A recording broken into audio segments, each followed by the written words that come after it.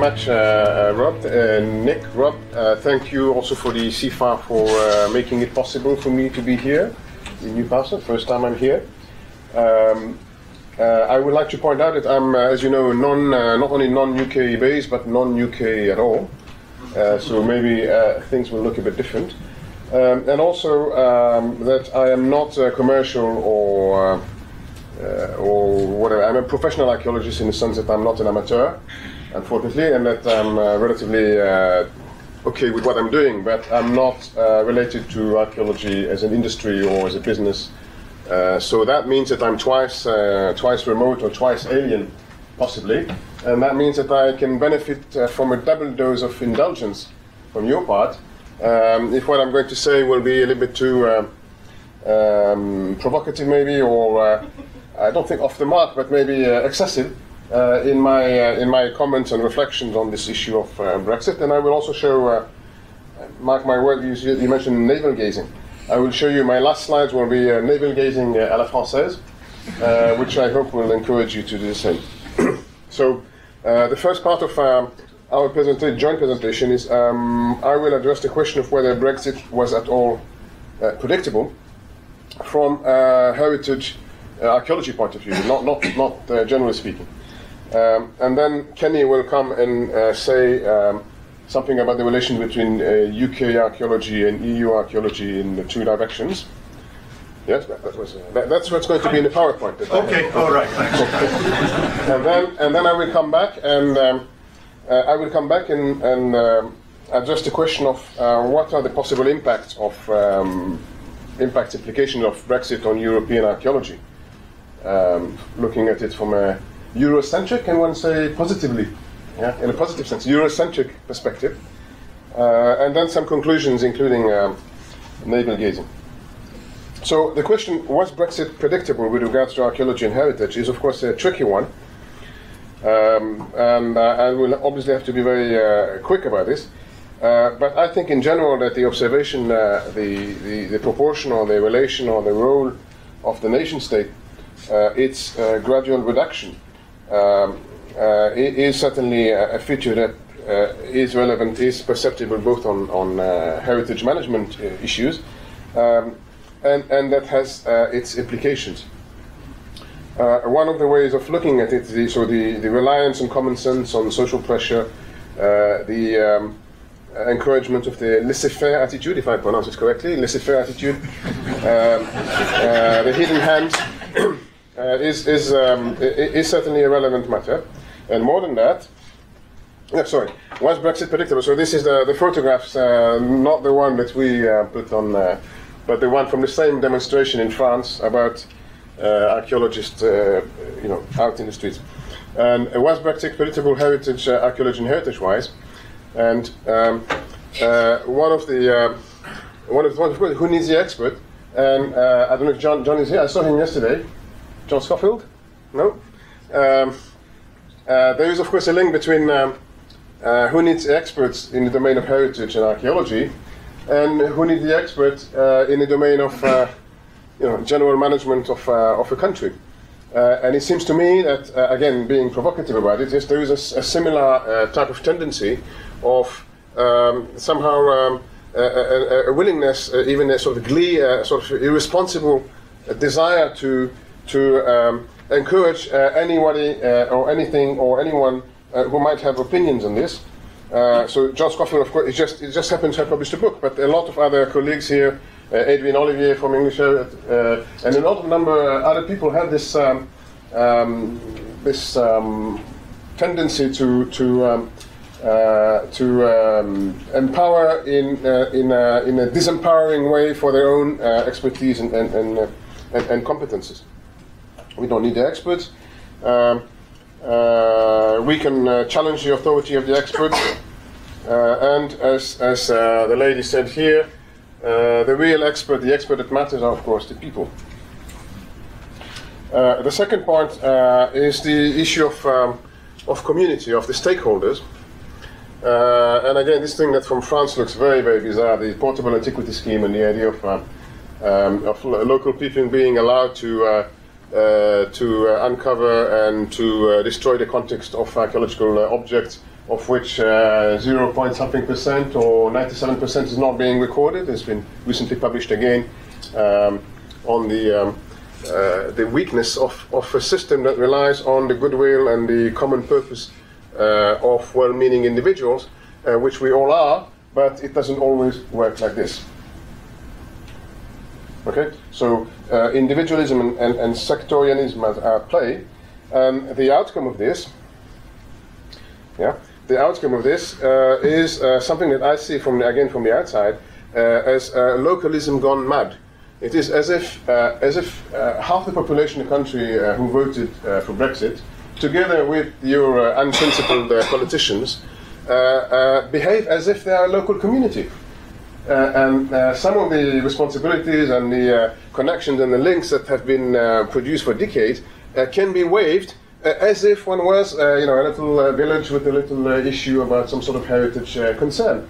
Uh, that's the way uh, it seems to me from the outside. So now I, I, pass over to Kenny for his point of view, and then I come back from my point of view. Okay, thank you, Nathan. Just so you know, I haven't seen any of Nathan's slides, so I didn't know what he was going to be saying. This is this is this is proper pre-rehearsed uh, presentation. Okay.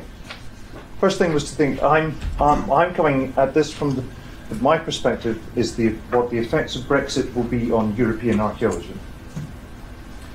My first point, no, no, my whole point is that I think Britain leaving the European Union will not have a great effect on European archaeology.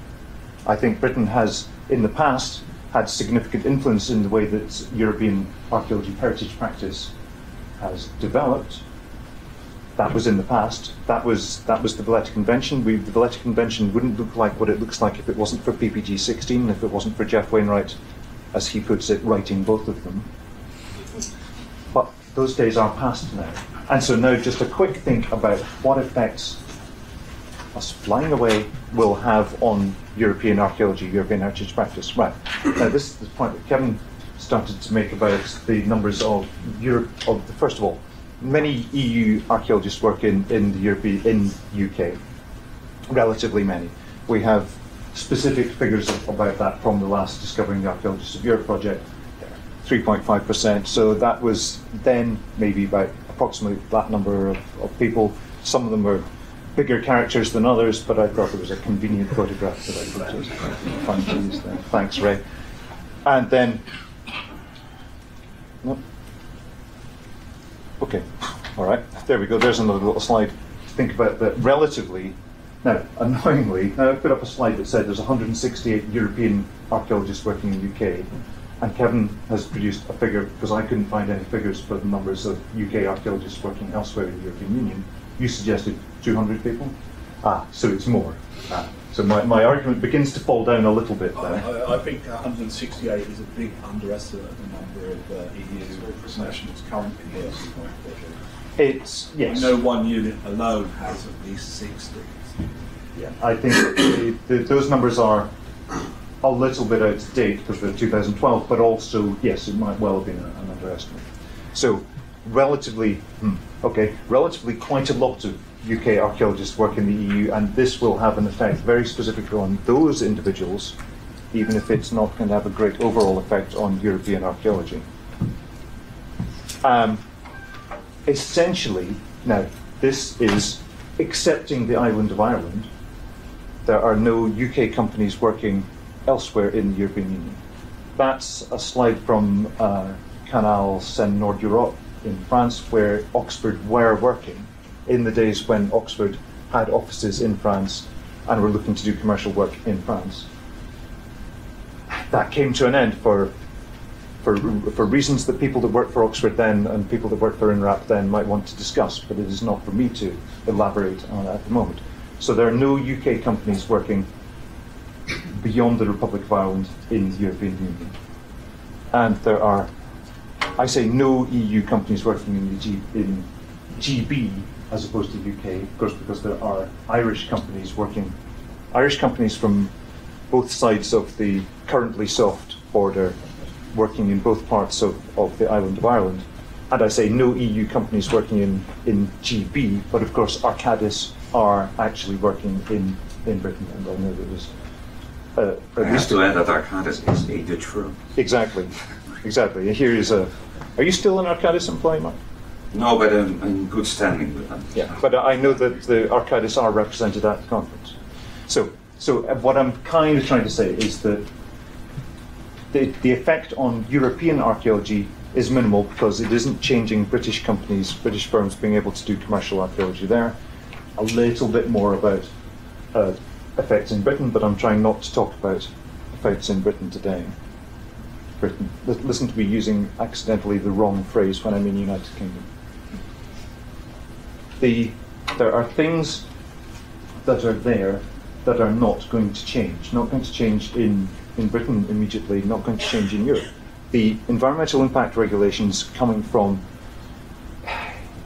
an EEC regulation in the days when the, the EU, before it was called the EC, when it was called European Economic Community, EEC 1985 economic impact regulations, in turn stemming from the United States 1968 National Preservation Act, are in place across Europe and have been were in French law even before 1985. And the way that the the work on the the archaeological work at Channel Tunnel was carried out, even the stuff in on the English side of the, the tunnel was done under French law at that time in, in the 80s. These things are not going to change across Europe. Britain leaving is not going to change the way that environmental impact assessment is done in Europe. The a, thing that some people might think about having an impact will be through university archaeology fieldwork.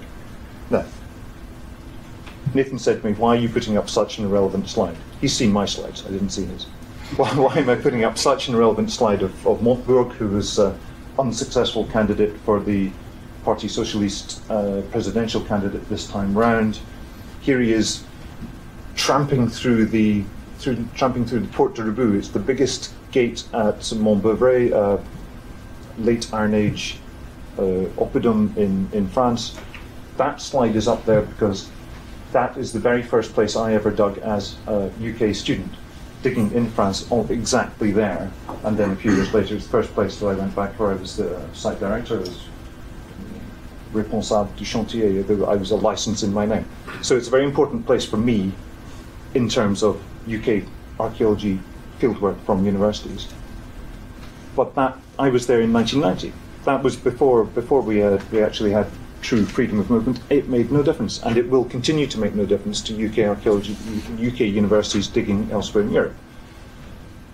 Remember what the Bluffers Guide says about uh, about fieldwork in, in Europe. It's it's all about getting to go somewhere where it's nice and it's sunshine and, and there's convenient wine and convenient local lovers or whatever Bluffers Guide says is the reason why fieldwork happens elsewhere in Europe. Right. We don't have very much time, and I know that uh, Nathan has to finish off. It's also thinking about UK field practice has not spread like uh, ideas of, of an idea virus across Europe. The way things are done in all all countries in the world, not just in Europe, is fieldwork practice is so parochial. The way we do it is right, says every single country in the world. This might not be the way that British commercial archaeology would excavate a, a cemetery. The different UK fieldwork practice is just not does does not and will not have an impact on the way things are physically done on the ground. And the last thing, we're not leaving Council of Europe, and so the Valletta Convention and the other uh, COE conventions continue to apply in Europe and will not change with Britain leaving.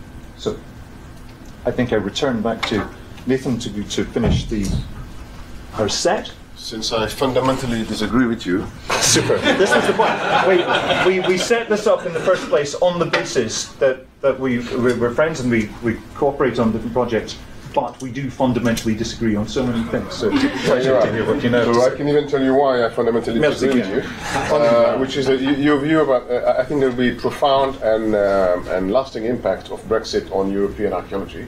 I'll show you in a minute. Uh, and I um, I'm uh, saddened that your view is very narrow and sectorial. Uh, it's simply in terms of employment, etc. And there are a lot of other major issues uh, at stake. Um, uh, just to illustrate, I, I found this archive. I don't know if you've seen a photograph. If you have uh, similar cases in um, uh, in this country of uh, police protection on uh, archaeological uh, evaluation work, uh, this is this is something similar to our. Um, um, you have the Newbury bypass, yeah. So Notre Dame des Landes is an airport that um, uh, is uh, being projected by all kind of uh, at local level as well, municipal, uh, regional, etc. But it generates a lot of objection.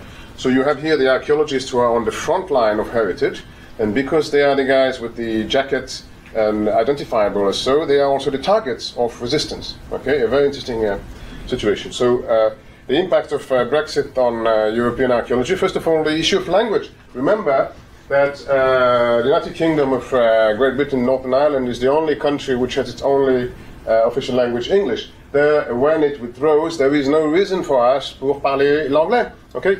Uh, there is no. Um, I, I don't know if the powers that be. This is not an archaeological question. It's much more major. Uh, why should we continue uh, using English? Okay.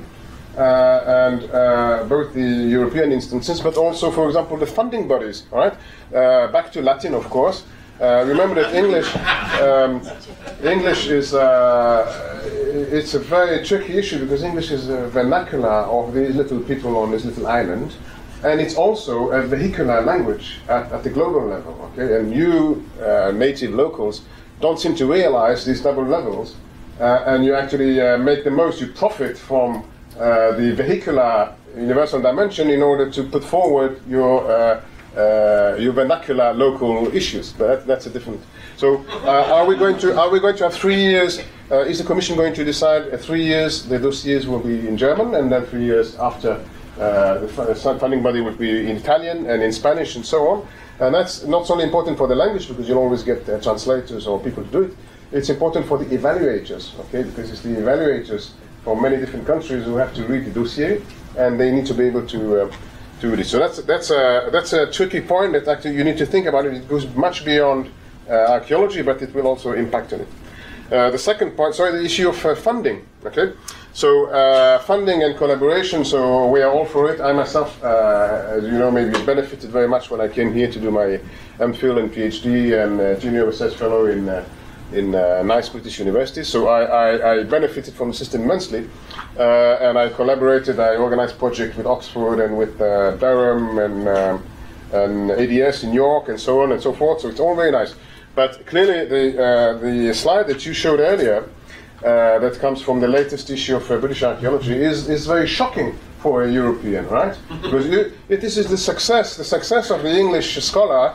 Uh, is the success of an, uh, it's, it's a looting exercise that is done uh, the H uh, the Horizon um, uh, the um, six, the panel six for uh, history in the past has been uh, has been uh, well I don't know if we can mention names uh, professors in Cambridge in Oxford uh, professors in Newcastle uh, in Southampton or he was in Southampton and came back to Southampton. Uh, people who have actually monopolized and uh, quite shamelessly if I may say so uh, have managed to make it such in, in years where you have 12 uh, projects on archaeology uh, seven of them uh, or eight of them are to British universities. Okay, so there's no doubting the excellence. Right, this is the criteria. There's no doubting the excellence of scholarship in in uh, British university.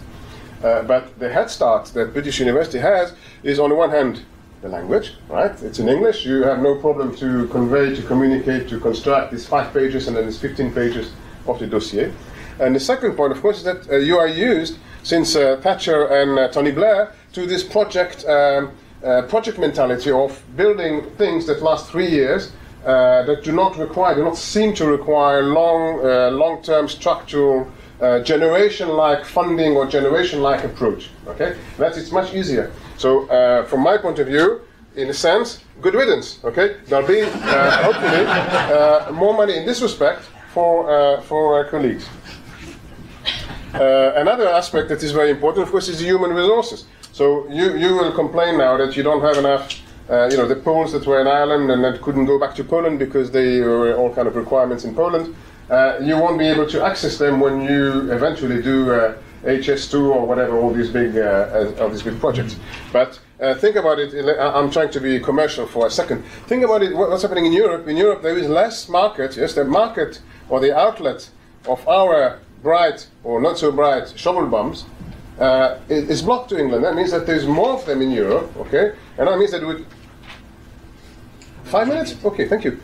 Uh, and that means that we can. Uh, that means that we can actually, uh, uh, you know, commercially think about it differently. Likewise, our bright minds, the postdoc and the people who will not come here, they will stay in Europe. It's also good news. Um, and the last um, uh, point here is the perception. Before I get to the conclusion, is the per- perception of um, um, again being provocative. Um, uh, the, the, there's a mixture here of two different things that you want to argue: the, the Little England and uh, Global Britain. So we just heard from Kenny that uh, even in a situation where you have the Valletta Convention and you have infrastructure and you have like-minded colleagues, uh, commercial archaeology doesn't get a foothold on, on the continent. Okay, so how can you imagine? Uh, a question: How can you imagine that commercial archaeology will be successful in places where you don't have the predisposition to undertaking uh, archaeology as part of uh, heritage uh, management? And then the second thing, of course, Little England, all this project about Englishness will now be looked at with suspicion, unfortunately. Uh, unfortunately, the, the very interesting project, Chris Gosden was doing one, and uh, other people are doing projects on what it means to be English and so forth.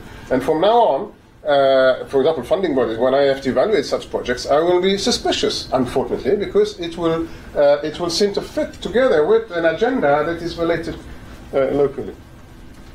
So, uh, concluding thoughts. It, uh, so you need to be pessimistic in analysis and optimistic in action. Yes, you need to expect the worst and behave as if the best is possible. Um, can we ensure that the English disease does not propagate elsewhere? Okay, that the English patient comes back to its sense and rejoins the fault. So you have photographs of uh, French archaeologists' work. Uh, I'll skip this one because I'm already behind schedule. And the last one, I'm fine. Okay. So, uh, uh, in order for us, let, us say, let's say that we want to avoid a Frexit, Frexit, or a Itaxit, or a Spaxit, or whatever. Uh, we, we, want to, let's say that our aim or the Dutch, uh, how are we going to proceed? Uh, what, how is our archaeological, uh, from an archaeological point of view, not as a general citizen, uh, what are we going to look for the weak point? What are the predispositions retrospectively that made it possible here in this country for taking this decision? Okay, and some of them I mentioned earlier: the issues of authority, the issue of expertise, the issue of the of the balance of the relation between the central and the local uh, could be could be thought uh, and uh, precise in, in, a slightly different uh, in a slightly different way. And then the, the, last point, of course, I said no navel gazing in French archaeology. so uh, hopefully.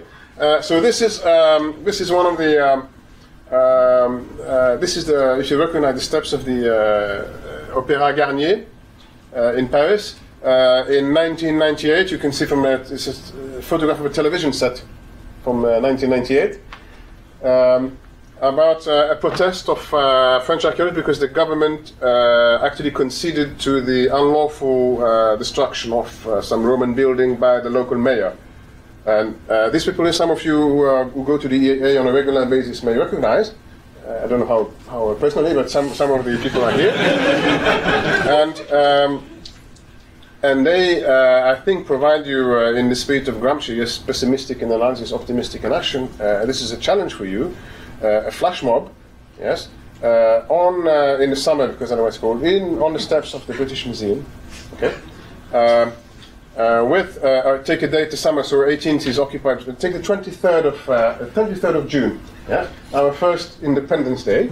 and you stand there, and be only you know the heavyweight or the more slender people from English heritage, from um, historic England. Uh, of course, CIFA, all the 10 and a half uh, members of CIFA will be there. Why not uh, people from DCMS? CMS? to, in order to stand and protest and make sure that uh, that your voice is heard. Thank you very much.